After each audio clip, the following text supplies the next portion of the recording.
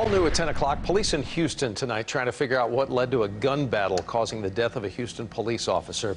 The plainclothes officer was shot in North Houston. It was near a motel. Houston's police chief tonight saying that the officers are searching for suspects. They do have several leads. This, by the way, is the second Houston police officer killed in the last three weeks. In the